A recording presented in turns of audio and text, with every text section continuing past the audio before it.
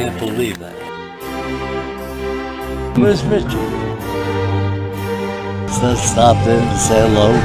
How's your uh, wrist? You still got that carpal tunnel syndrome from jerking off too much? Yeah, yeah, of course.